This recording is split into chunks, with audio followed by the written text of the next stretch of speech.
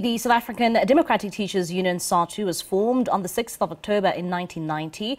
Shepherd Membathisi Mdladlana became its first president and Dr. Mugwena Maluleke is the General Secretary of SADTU and he helps us go down memory lane now and joins us via our video link.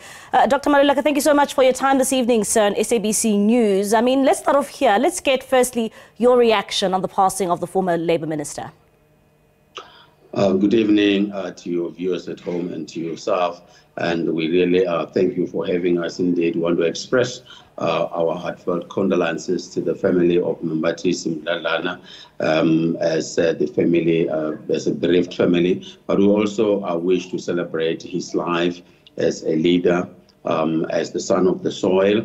Um, uh, who has uh, really um, worked so hard to form this non-racial, non-sexist unitary organization. Um, it was not easy. It was not fashionable to belong to a trade union during the apartheid regime, and therefore we um, here as well, um, you know, raising uh, our voices to say, want to thank him, and because we are grateful for the work that he has done, especially being part of the drafting uh, of the Bill of Rights in this country as a human rights activist, as a labor rights activist, um, and, and, and a teacher uh, for that matter, because uh, today the status of teachers um, is not the way it used to be in many, many other countries. Uh, we are struggling to have this particular profession being recognized. And this is what Mdladlana fought for when he was um, a leader of our organization. Therefore, we wish to um, stand in solidarity, grieve with the family at the same time,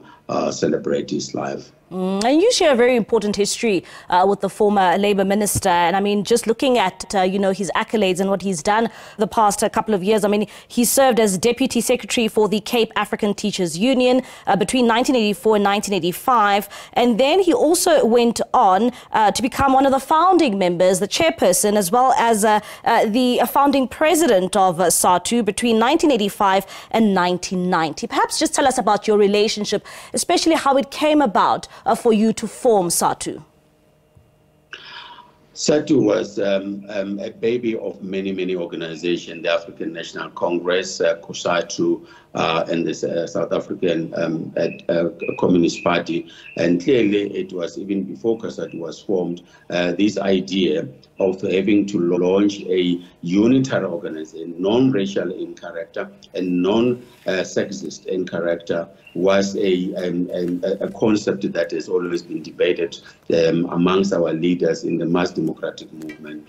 And therefore, Mdladlana and other leaders who were in NEUSA and other unions that were there, you have just mentioned that it was also part of the unions in the Western, in, in, in the, in the Western Cape uh, before the formation of SADTU. So SADTU brought about 18, uh, 14 unions together so that they have to uh, amalgamate to form this uh, particular organization. In 1988, a delegation was sent to Harare where the African National Congress sent leaders like Thabo Mbeki um, and, and, and, Jacob Zuma uh, to preside over that particular meeting where a declaration was adopted, which we call Harare Declaration, which spelled out the principles. Uh, one of the principles clearly was that you do not organize workers on the basis of their ideology, but you organize the workers because they have common uh, enemy, which is the is, is, is, is capital yeah. and imperialism, and therefore that's how the organization uh, was formed. Other organizations that went with them uh, for this amalgamation, others uh, pulled out out, but majority of them came together to form this particular organization. Mm. And hence, in, in was then a founding uh, president of that. He fought for the recognition of our organization. It was not easy. Um, I mean, apartheid uh, regime did not want to recognize SADTU. Uh, homelands, organi- you know, um, homelands leaders did not want to recognize SADTU. It was very tough. However, because he was very pragmatic, he was a professional, he was a revolutionary, he had uh, a, a, very strong view that a negotiation and conversation with those particular leaders will uh, eventually lead to the recognition. However, yes, some recognize us, and uh, and uh, unfortunately, in 1993, he had to lead one of the biggest strike uh, that has ever happened in our country, especially from the teachers' perspective, where we were fighting for the liber- uh, for, for for the recognition. Many many of our leaders were suspended. Some of them were uh, eventually expelled by the apartheid regime. However, we fought for those suspensions to be dropped. And then he fought very strongly together with uh, his collective to ensure that uh, those who were expelled were reinstated in, in, in, right. in government. All right, uh, then, uh, Mr. Maluleka, thank you so much uh, uh, for your time, sir, this evening. Uh, that is uh, SADTU General Secretary Mugwena Maluleke there, uh, just giving us his insights in terms of the history of SADTU and the role that was played by the former Labour Minister.